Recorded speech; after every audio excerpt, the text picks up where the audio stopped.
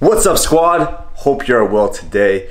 It is early. It is about 7.30 in the morning and I never wake up this early. In fact, usually it's like 8.30, 9 usually clock. I'm just not a real morning person. But wanted to get up today. I have something special going on that I'll share with you here in a second. Uh, but on this video, we're going to talk, in the last video we talked about Instagram, how we're making money on that. But I want to talk about how I'm running a paid advertising campaign and I'm getting just above dollar leads. In fact, some of the ad sets were getting low as I, uh, last time I checked it was like 60 cents 80 cents. It was crazy. I'll probably show maybe some of the screenshots on here but I want to show you exactly what I did. I want to show you three specific things that I did to in order to have these successful results with generating really cheap leads on Instagram. So that's what we'll be covering on today's video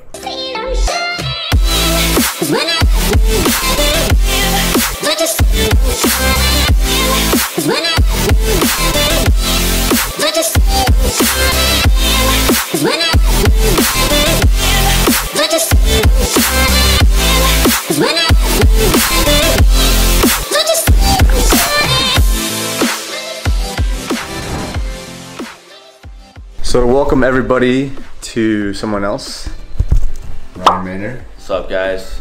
Uh, we're about to get on a call, and uh, Ryan, why don't you share with them what the call is about?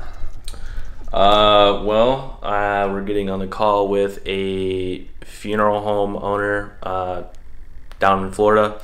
Um, they own several locations and uh, about to lock them down on a new Facebook marketing contract. Um, I basically run a digital marketing agency that works with funeral homes, so this is potentially a big deal, six figure client, potentially six figure per year client, and uh, pretty excited about it. So Nick's gonna help out with the call with his digital marketing expertise. Again, like Ryan said, he owns a digital marketing agency where they focus on funeral homes, generating leads via Facebook on funeral homes. So um, yeah, we just are about to jump on a call. Hopefully it goes well. And um, yeah, like I said, it could be a big, big client, uh, multiple thousands per month because it has uh, multiple locations.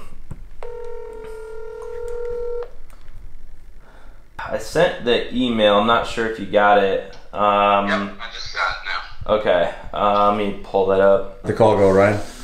Pretty good. About to lock it down. New deal. 10k per month. You know what I'm saying? So we gotta work out a deal, Nick. You gotta let me know what you're gonna help me out for. 2k, 3k, 4k. The call went really well. Um, again, it was just kind of a touch and base call, follow up. But it sounds like they're really interested. Again, like I think I said, they have multiple locations. Could be honestly a six-figure deal per year. So we shall see. They're one. They're wanting help with email marketing as well as Facebook ads. Yeah, we'll see what happens in the next few days, but we should lock it down. Fast forward a couple hours, I got my morning routine done, got some work done, and now I'm gonna head over to the bookstore actually at Barnes and Nobles, and I believe there's a Starbucks there as well. So I'm gonna sit there, get some work done. I have to pick up a book for a friend. Hopefully it's there. If it's not, then uh, we'll obviously order online. But now we're gonna start getting into this stuff about these Instagram ads. And this is stuff that people don't really tell you. It's not necessarily like a little tweak in the ad or anything like that. There's some very strong things that make huge differences. They're small hinges, but they swing big doors. Okay, so I'm gonna share with you three specific things that's really really gonna help you if you are running Instagram ads and you wanna drop the cost per acquisition. Lord knows that I've tried to. You said I was the only one. No one likes being. All right, so we're here at the Tempe Marketplace. I'm about to go into the Barnes and Nobles bookstore. I'm gonna buy a book for my friend for his birthday. And then what I was also thinking about doing, if they have two copies of this book, The Five Second Rule, one of my favorite books of all time, what I'm gonna do, if they have two copies, I'm gonna grab both of them, and then I'm going to be giving away one of the copies to one of you guys. Okay, so whoever leaves the best comment down below amongst my next, we're gonna go with the next three videos. So whatever best comment I leave down below, I'll randomly select the winner, and um, yeah, you'll have a brand new book of the five second rule. But let's get into this technique number one, and that is borrowing authority. Okay, so as you probably noticed from the title of this video, how Gary Vee helped me get $1.27 leads, right? Did Gary Vee actually help me get $1.27 leads? Was I talking to him? Was I having an exchange and saying, hey, Gary Vee, how can I get $1.27 leads? No, but I borrowed his authority. I talked about in my video ad that I will be showing you here in a second that I use his authority, I use his credibility so that people would pay attention to me and view me as a higher authority, okay? So I'm gonna show you that video ad, the video ad that I ran that is getting $1.27 leads right now. We got over 100 leads at $1.27 and I'm gonna show you how I leverage his authority to generate even better results. Ever since working with Gary Vee's team over at VaynerMedia, my Instagram has absolutely blown up and people are constantly asking me how the heck I was able to do that. If you'd like to learn more about my process so you can blow up your profile, swipe up. So as you can see, I borrowed his authority. I, you know, I worked with them and I just borrowed his name. I said, hey, I work with these guys and just people seeing that right away, they say, oh damn, this guy already has a little bit more authority than what I first thought because of the fact that he worked with Gary Vee. It's just borrowing authority. So what I strongly recommend is that you do the same thing. Now I don't know if you've worked with any big agencies or anything like that, but you can always get creative and find ways that you can borrow authority. For example, I have a client that he was featured on a couple big YouTube channels and he has a best-selling book and those are all things that he wasn't implementing into his messaging, into his marketing. And I told him, let's start putting those into place and then it'll just put your authority this much higher and people will listen to you that much more. So always be getting creative, always be getting resourceful on how you can add a little bit more authority, borrow authority from someone else so that it'll raise you up a little bit more. But now I'm gonna be walking into the Barnes & Noble bookstore. Hopefully there's two copies. And yeah, again, leave the best comment down below. Hopefully they'll get you a free copy.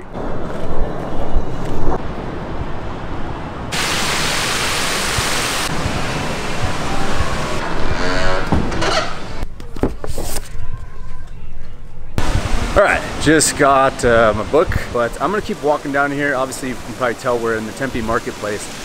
So some cool spots within this area. I wanna go find another spot down the road here, and then we're gonna talk about the technique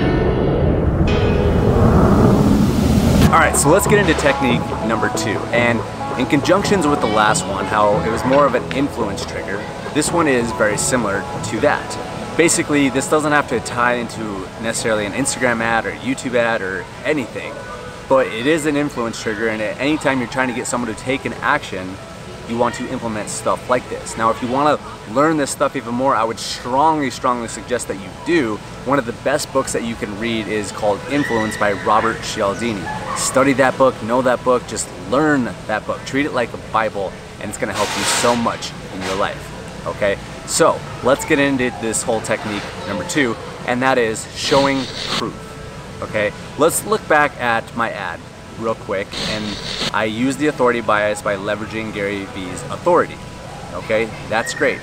But what I do next? I didn't just say that I worked with Gary Vee's team. I didn't just say that I was a part of them and I got paid by them and stuff like that. I showed it. I proved. I had a check. It was undeniable proof, a check from VaynerMedia that I worked with them.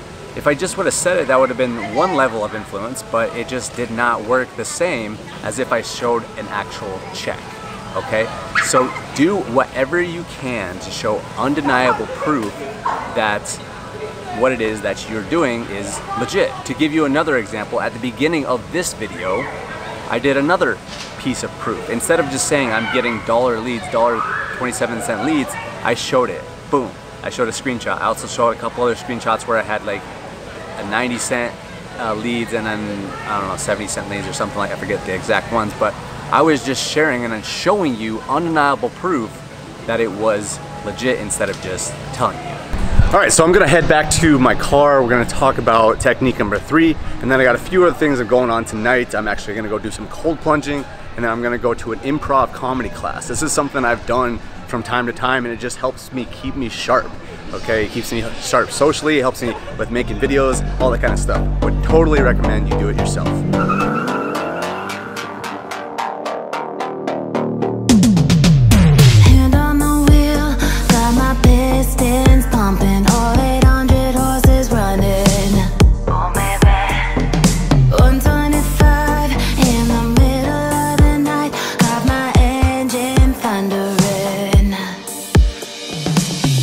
Back here at my apartment complex. Uh, we're up here on the roof. Gosh, it's just amazing to get up here sometimes. The sun's not quite low enough yet, but um, it's getting towards that golden hour and uh, yeah, it's just beautiful scenery around here. Maybe you can kind of check it out. It's gonna be hard to see with this camera, but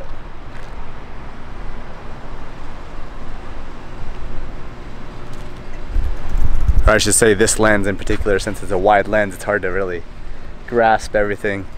But um, yeah, we're back here and I'm gonna share with you technique number three to help you lower your acquisition for your Instagram ads. So this is gonna be a little bit more of a technical technique. Okay, the last two were much more just influence based, like I talked about on technique number two. I would strongly recommend that you start just divulging yourself in a lot more influence training. The book that I talked about, uh, influenced by Robert Cialdini, and then I don't know, just like there's a couple other resources that I have that I don't like. I can't like send you links or anything, but just really get inundated with the whole idea of influence because the more you're able to influence people, the better you are at influencing people, the better your life's gonna get. The more money you're gonna make, the more yeses you're gonna hear. It's just life gets better when you're able to influence better. Okay, so Technique number three, again, like I said, is a little bit more technical. It's more so like an actual strategy within Facebook ads, but it's the whole idea of lookalike audiences. Okay, and I'm just gonna explain it and help you understand it. If you guys would like me to go into the Facebook admin dashboard and show you exactly how to set this type of stuff up, then I will definitely do that. Leave a comment down below and I will make a follow-up video to show you exactly how to do that type of stuff. Okay, so let me know. Now, I want to explain the reasoning behind lookalike audiences and exactly what they are. Basically, what a lookalike audience is, is you have like a list of people, whether that's an email list, a customer list, even like your social media following or people that have watched a particular video. And basically what you can do, if that's a solid list, say it's a customer list, you have, let's say you have a thousand customers, okay? Um, then you can take that list, load it up into the Facebook admin's dashboard, which that's where you control your Facebook or your Instagram ads as well. But then you can tell Instagram and Facebook, hey, I want you to go find out, I want you to go find at least a mi- 2 million more people that are just like these people. And then you have this big, big audience that you can advertise to. And the reason that this works so incredibly well is because one, it's a big audience and you need a big audience to lower your cost per acquisition. If you only have like a couple hundred people or a couple thousand people on your audience list, it's just generally gonna make it more expensive. I don't even fully understand why, but just from my experience, every time that I use a small list, it drives up the cost. So having a big list and a lookalike audience is really good, but just the simple fact because Facebook and Instagram know so much. They have so many data points on everybody. They know exactly what everyone's doing, how they're acting, like they know everything. So if you have a good solid list, then you just basically duplicate that to a bunch of people that are just like that list. It's going to convert so much higher as if you were just going after interest base, which is what a lot of other people will do. So that's kind of the rundown on lookalike audiences. I would recommend that you strongly use these. And again, it doesn't have to be you have to have a customer list. It doesn't mean you have to have a, a crazy big email list. I simply would take my Instagram followers and then I would create a lookalike audience of them or people that have um, liked my Instagram posts. And I duplicate that and make a lookalike audience of that. And those are some of the campaigns that work the absolute best. So use the lookalike audience as much as possible. And if you use those three specific tips, it's going to help you in your Instagram efforts, okay? Now, if you guys made it to this point of the video, I appreciate you so much. If you have not yet, make sure and subscribe to the channel, hit that bell notification, and share this with a friend that they can get some value out of this. We're looking to grow this channel big time. We're making videos every Monday and Thursday, staying consistent with that for 12 months straight. You heard it here first. We're going to do that. I'm going to stay consistent. It's something I've struggled with from time to time, but here I'm making a commitment to stay consistent. Two videos a week, every week for the next 12 months. Okay, guys, I appreciate you. Make sure and implement those three things, okay? Use the authority bias. Leverage other people's authority until you can get your authority. It lifts you up. Use undeniable proof so that people believe exactly what you're saying, not you show that you know what you're saying. You show proof, not that you're just explaining it and saying it. Okay, and then the third, use lookalike audiences because that's going to drastically drop your cost per acquisition. Okay, use those three things, and it's definitely going to help you in your advertising on Instagram, Facebook. Um, and then obviously the first two can just help you in influence in general. Okay guys, I appreciate you so much. Thank you for watching the video as always, and we'll see you on the next one.